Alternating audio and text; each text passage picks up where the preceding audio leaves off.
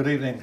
That didn't work out, did it? No need to tell you that. If you're a Sheffield Wednesday supporter, we were hoping this programme was going to be a bit of a celebration. It was always going to be an owl show rather than a bit of an inquest. But in sport and in football, there are winners and there are losers. It's part of life. So although these guys are both down in the dumps, uh, I'm sure they'll get over it pretty quickly. As I'm sure as well that the players and the manager and the chairman of Sheffield Wednesday will do because there's no other option is there. The supporters will take longer, I think. Rob O'Neill, you've met him before on this show. We were hoping, by the way, that this was going to be the year of the first double promotion uh, in Sheffield's football history since 1984. That's not worked out as a result of last night's events at Hillsborough, which you commentated on yeah. for the Wednesday online service. Rob O'Neill, and of course, no introduction, Jon Newsome, former Sheffield Wednesday player and captain, never shy of an opinion on Twitter and elsewhere in your Sheffield Star column. So really, gut reaction. I mean, first of all, you, Rob. I mean, you, you endured all the emotion of it. Uh, I, I was there merely observing, and I was kicking every ball, I have to say, yeah. for Wednesday, just as I've kicked every ball when I've seen Sheffield United this season. You cannot help it, you do it. How do you how do you feel now? Yeah, I mean it's, it is a bit raw at the moment. It, it probably feels I don't know worse than, than last year when we lost the whole city. You get to the final and I guess you think that going to hurt even more. But I don't know. Maybe it's because he's, he's on the bounce. He's so close but so far away, and you know obviously penalties is a lottery. You, you know it can go either way. Yeah. But yeah. And you were there with John Pearson. Uh, there was one highlight, and we'll yeah. let's save that because there was one really huge moment uh, and the crowd, as ever, were brilliant. The, fa- the fans back. John, Jon Newsome, your feeling and, and, and reaction. Um, did you have to have a, one extra drink last night? Drown the sorrows? No, no, no, no. Um, disappointed, like everybody else, Alan. You know, it's um,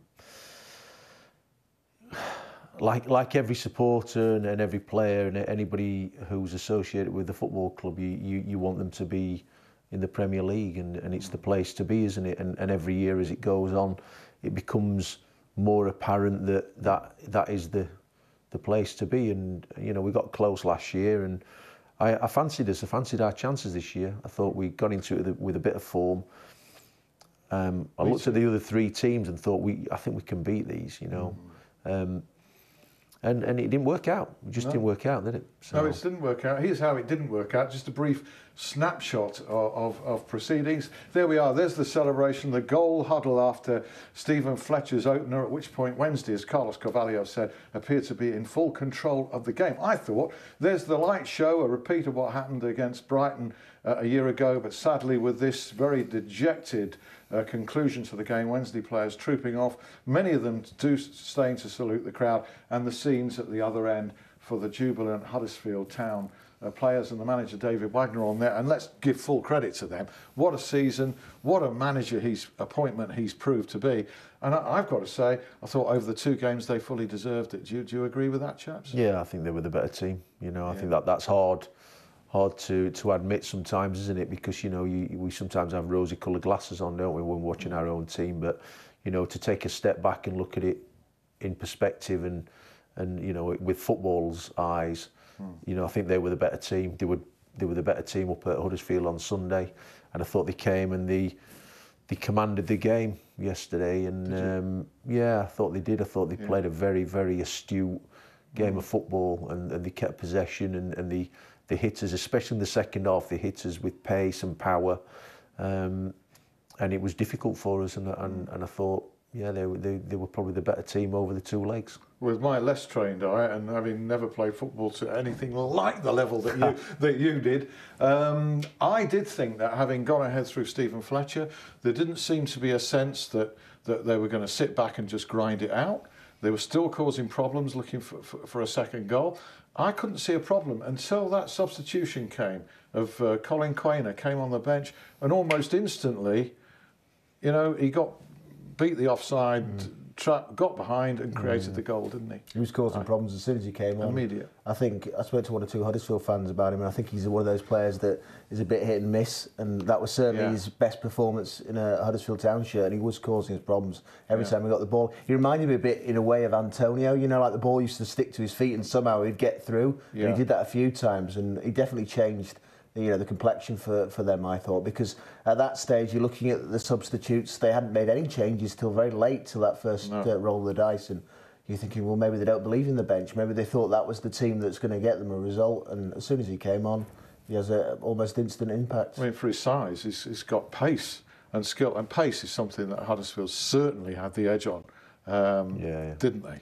Yeah, Uh, absolutely. Yeah, and, and, it- and it's a Several players. I mean, Van it's- Parra, Wells, Kachunga, yeah, people yeah, like that. yeah, yeah, and it's it's a useful asset, isn't it? You know, it's an mm. asset that, especially as a defender, it's it's one of the most difficult things to defend against because if somebody's got raw pace and, and they use it, I think that's the thing. If you you see many players who've got lots of pace, but they don't want they don't want to necessarily use it to their advantage. They mm. want to beat you with a trick and that kind of thing. And you know, sometimes when they just stick it in the grass behind you and say, "Come on, we'll have a race," difficult to defend against. Yeah. Well, let's let's put it into perspective because sport is winners and losers. There are fractions between winning and losing often, and yet the reaction, whether to a loss or a, or a victory, is you know a million miles apart. As I tweeted today, you know it's a fraction that's decided it.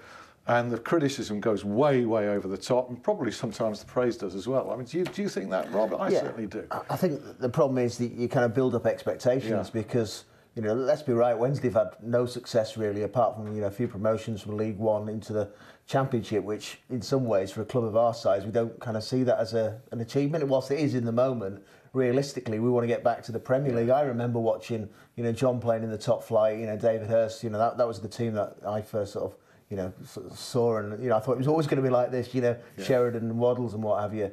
And we have fallen a long way, and I think we're all just desperate to get back to that top flight. But Yeah. You know, there's other teams. Leeds have just missed out. They've been ambitious this year. You know, obviously Norwich. You know, at the end they, they were really strong, weren't they? And maybe with a few more weeks, that they're a team that next season will be up there. Villa will put a team together, so there's going to be competition next season as well. So it's going to be a challenge to get out of that league. And, and bearing in mind the teams that uh, Sheffield Wednesday have left below them, uh, likes of Leeds United, likes of Derby County, likes of Aston Villa, over two years, surely Carlos Carvalhal has done a very good job, and he's fully entitled to say that as well. You know, finishes of sixth and fourth, playoffs both times. So that is perspective as well. Absolutely, yeah, yeah, absolutely. And, and and I think you know you've taken a step backwards, and we've come a we've come a hell of a long way, haven't we? You know, from from you know five six years ago to where we are now, and and sometimes you've got to put it in perspective. But um, I think when you just get that close to the promised land, you you, you know you want a piece of it, don't you? And Yeah. uh, you know it's disappointing that we're not there, but but yeah, he's done he's done a good job, um, and they've played some some good football. I don't I don't think they've they've necessarily been as consistent this year uh, in the in the type of football and the the flamboyant way that they played last year. But I think what they've done this year is they've learned to win games ugly, you know, if that for want of a better better uh, description, really. And, and they have won won games when, when it's not been great. And at the end of the day, that's what it's about, isn't it? Winning football matches. Indeed. Well, he's won certainly a lot more than it, that he's lost. Carlos's future is being debated quite openly now. It was kind of on the radar and then went under the radar because of the importance of last night's game, and now it's kind of open season on it. So I'll get your views on that, and also the the Jordan uh, Rhodes non-penalty taking controversy. Your view. I know you've got very strong views on that. I know you've gone to war on Twitter today on that on that on that basis. I might just play devil's advocate for, with with you on that. See where you go. First of all, um, gut reactions. Um, Rob, Carlos, do you see him staying or going? I don't know. I, And what do you think should happen? I'm not sure what will happen. I mean, I, I did find it a bit puzzling when it came out the other week. In fact, you had a conversation with you, and, and Carlos revealed that you know his contract was going to be maybe up for renewal, and obviously we're all under the kind of uh, assumption that he'd signed a new contract a year ago. So, was certainly. So that that has kind of put a cat amongst the pigeons a bit, and that's why the speculation's there. Because you know, I saw some of the fans sort of moaning at one or two of the journalists for running stories about it, but it was kind of thrown out there, so I can understand Yeah. from the, the, the journalistic point of view why that's happening. And you know, it does need to be sorted quickly. Um, but I think the only people that know it are, are the chairman and the manager, and they're planning to have a meeting and to see which direction they both want to go in. So Yeah, it I kicked don't know. off. I actually actually- think it depends how that meeting goes. I think it could go either way. Indeed. I mean, it it actually kicked off with a national newspaper story written by a very respected journalist, but not based in this area, Yeah. suggesting that Carlos was going to get sacked mm. at the end of the season, which was not only harsh, but from all I hear, you know, we all have different sources, but from what I hear from very, very good sources at Sheffield Wednesday, and other journalists have heard the same, that is not never been the case. Absolutely never been the case. An excellent relationship between Dejphon Chansiri and Carlos Carvalhal, and it was never on the agenda That uh, comes across. sack him. Never. I think it comes across. I think it's, I- it's clear they, they get on very well, and Yeah. I think it will be Carlos who will have a, you know an adult conversation, and, and if he decides, maybe he might be the one to think, you know, I've had two years at this because he hasn't typically stayed in the same place for a long time. So maybe he's thinking. Maybe I need a new challenge. Maybe it's going to be good for the team because he's got to try and lift those lads again for a, for a third season after two disappointments. So that's going to be a challenge in itself. Yeah, I wonder whether he'll feel that he won't have the same tolerance and rapport with supporters on what would be, you know, a must-win promotion season, whereas a, another Yeah. manager wouldn't be under that same Yeah, immediate possibly. How do you think, see it, John? I think possibly, but I think he's he's probably a victim of his own honesty, isn't he? You know, Yeah. and, and, and it's not not often that we say that in football, is it? That you know people come out and, and they are totally honest, and, and he has been, um, and he's been a victim of that a little bit. With, you know, with the furore around it. Um, will he stay? Who, who knows? You know, I, I, I hear the same things as yourself, Alan. That you know he's got a fabulous relationship with the chairman. Um, they're going to have a conversation next week, aren't they? You know, he's, that, that's what he said. They'll have a conversation next week. They'll sit down. They'll work out between themselves what's the way forward, and you've got to respect that. You've got to respect what they've told us and, and what they will do, and, and go from there. And you know, like I say, just just his honesty has, is probably got him into hot water a little bit. Well, yeah, I think he put it out there because there's two sides to a mm. coin. It's kind Yeah. of being suggested that he's going to get the sack, which we all know is is is rubbish. Mm. That's never going to happen. So I think maybe he highlighted, hey, there's two sides to this. Mm. They're talking about me getting the sack.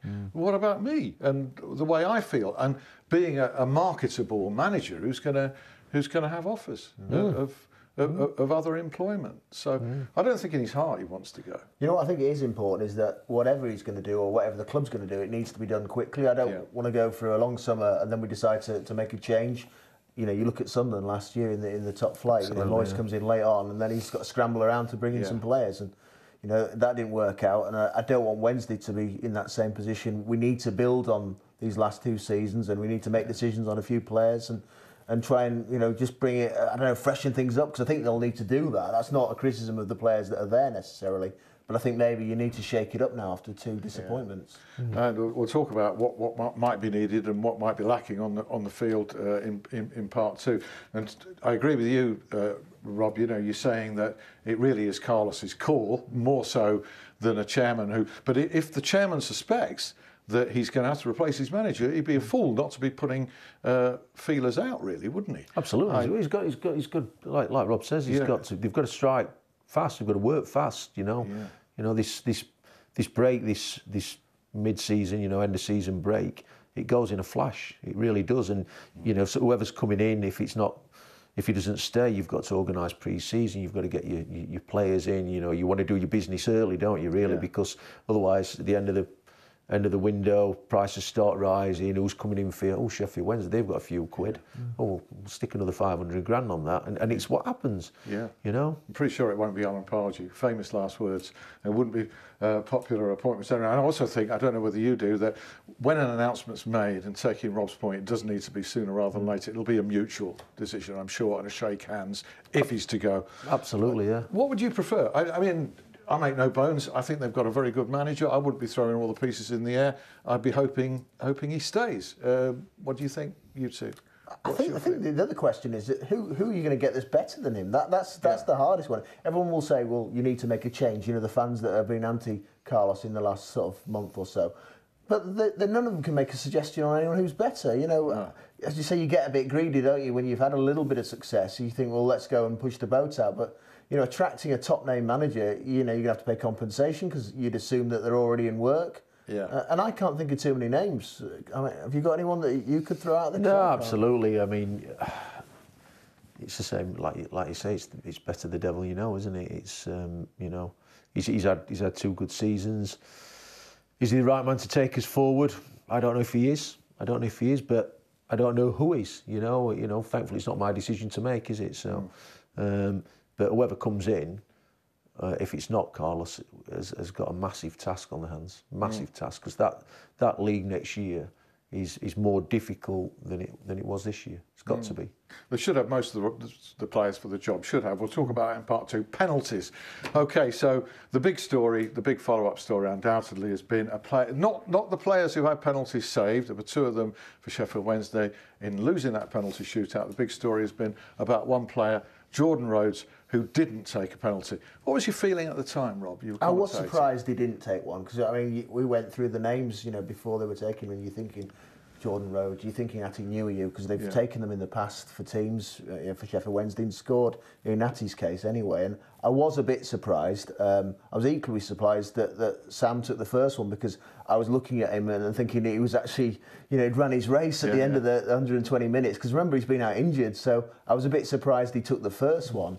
But like John says, it- it's all about whether you, you feel able to take it because it's a different situation. I mean, everyone can take a penalty in a training session and probably put them all in the top corner or whatever. But when you've got all the crowd and the expectation there, it becomes a different ball game. So Carlos Carvalhal's asked the direct question, why didn't he take it? It you know, he hasn't got much option but to say, well, he didn't fancy it. So Hmm. it's not a case of dobbing your player in, I don't think. No, Because don't think had he said, well, I decided the, the players would take it, he would have had massive flack for that. Yeah, and, and, What- and he's also been untruthful, isn't he? Yeah. You know, he's, he's, he's, So an, he's an honest truth. guy, isn't he? That's, the, Yeah. that's what comes across about Carlos. He, he's a very, very honest guy, and, and, and, and that's what I like about him. But, but yeah, I mean, there's been lot, lots of um, noise and, and stuff on Twitter and on social media today, and people going on about it. And it's just it's it's how you are in the moment. You know, I, you know, I've been involved in, in penalty shootouts, and um, and it is how you feel at that moment. And if you usually they, they have they'll have maybe six or seven names in a pool. Who fancies a penalty? You'll go through him in training. You'll do it in in you know before the game that kind of thing. Who fancies one? Then you have to work out are they still on the pitch? Are they not on the pitch? You know you're all tired. Right out of you six seven you know who, who fancies it? And, and in what order do you do you want to take them? Because taking the first one and the second one, in my opinion, is easier than taking the fourth one or the fifth one. Because on the fourth one or the fifth one, it's usually what it, it's Some hanging in the balance. Yeah. You know, and, and if you miss, you're out. If you score, you might be in. You might win. You know, if you take the first one, there's Well- still there's still another four to go after you, or the second one. You know what I mean? So Let's take the argument, uh, okay, that you know that, that Jordan Rhodes, the, the, what he costs and what he earns is largely irrelevant. He's a he's a goal scorer, okay. Yeah, And he, he's yeah. taken plenty of penalties in his time, albeit he missed the last one at, at Leeds. Uh, I, I tried to put myself in his place, and I came to the conclusion I'd rather take a penalty and miss it than be called a bottler, which effectively is what he's been called today. But in thinking that, am I being selfish? That I'd rather take a penalty and miss than Yeah, you, might, you might have got well, you might have got six lads there who are confident I'm going to score. Yeah. Yeah, I, I want to take a penalty. You, you, for, for all you know, you might have got eight lads who say, I, I want a penalty gaffer. And uh, well, we, there's only five. No, but I want, I want to take one. I want to take one.